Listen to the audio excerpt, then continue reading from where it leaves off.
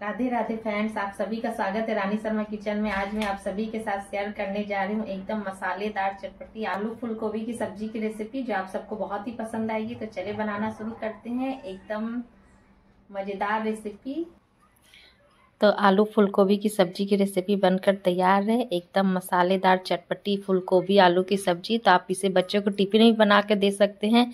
एकदम सादी पार्टी वाले फूल गोभी की सब्ज़ी। तो देखिए, देखने में भी कितनी सुंदर लग रही है कलर। तो चटपटी सब्ज़ी की रेसिपी बनकर तैयार है तो आप पूरा वीडियो ज़रूर देखिएगा और कमेंट बॉक्स में लिखकर ज़रूर बताइएगा मेरी फूल गोभी आलू की सब्ज़ी की रेसिपी आप सबको कैसे लगी। तो आप भी एक बार ज़रूर ट्राई करिएगा और इस तरह से बना के देखिएगा, आपको बहुत ही पसंद आएगी। तो एकदम सादी पार्टियों वाली जैसे सब्ज़ी।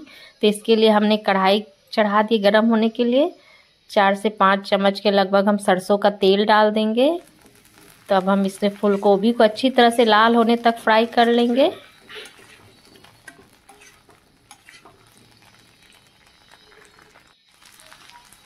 तो देखिए, अब फूल अच्छी तरह से लाल हो चुकी है। तो हम इसे इसी तरह फ्राई कर लेंगे। तब हम एक प्लेट में फूल को निकाल लेंगे। तो देखिए, एकदम गोल्डन ब्राउन हो हो चुकी है।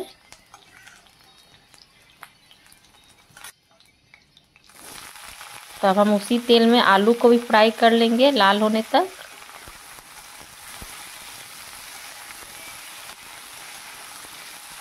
तो इसे बनाना बहुत ही आसान है और झटपट बनकर तैयार हो जाती है। तो देखिए, आलू भी फ्राई हो चुकी है, तब हम आलू को भी निकाल लेंगे एक प्लेट में। तो गोल्डन ब्राउन हो चुकी आलू।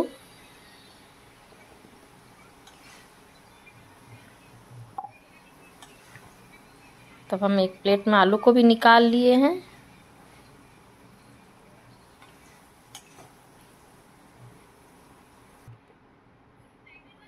तब हम इसी में थोड़ा दो से तीन चम्मच और तेल डाल देंगे। तो तेल गरम हो चुकी है, अब हम इसमें पचफोटन डाल देंगे। तो ये चटकने लगी है तो अब हम इसमें दो कटी हुई हरी मिर्च डाल देंगे। आप अगर तीखा ज़्यादा पसंद करते हैं तो आप कम ज़्यादा कर सकते हैं। तो मैं बच्चों के लिए बना रही हूँ तो दो ही मिर्चा डाली हूँ, और दो प्याज हम छोटे पतले टुकड़ों में काट लिए तो इसे भी हम गोल्डन ब्राउन होने तक फ्राई कर लेंगे। तो देखिए, प्याज भी अच्छी तरह से लाल हो चुकी है।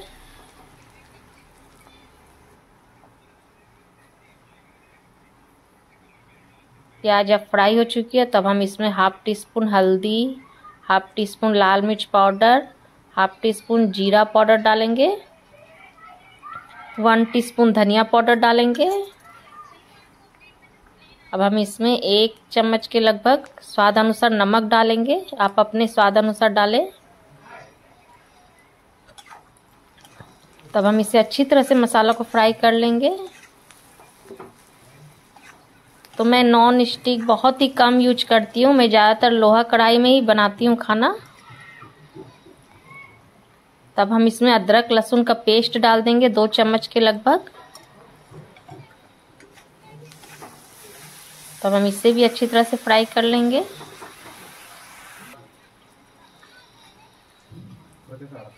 तो इसमें दो टमाटर छोटे टुकड़ों में काट कर अब हम डाल लेंगे।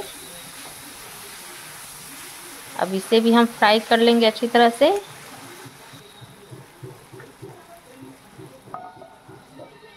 तब हम इसे थोड़ा ढक देंगे मसाला और टमाटर पकने के लिए, पाँच मिनट के लिए। तो देखिए मसाला अच्छी तरह से पक चुकी है साइड साइड से तेल भी छोड़ने लगी है। और टमाटर भी अच्छी तरह से पक चुकी है। तब हम इसे फ्राई किया हुआ फूल गोभी आलू को डाल देंगे।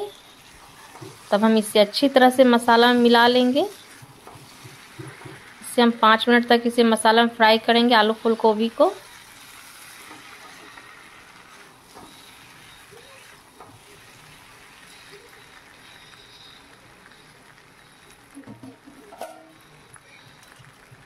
तब हम इसमें ढक्कन लगा देंगे ताकि मसाला अच्छी तरह से आलू और फूल गोभी में मिल जाए। तो देखिए कितनी अच्छी तरह से फ्राई हो चुकी है। एकदम फूल भी एकदम लाल हो गई है।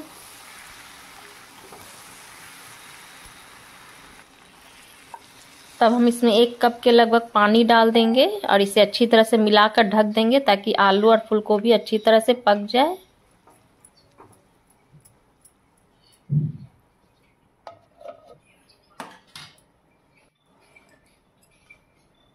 तब हम ढक्कन हटा कर देखेंगे।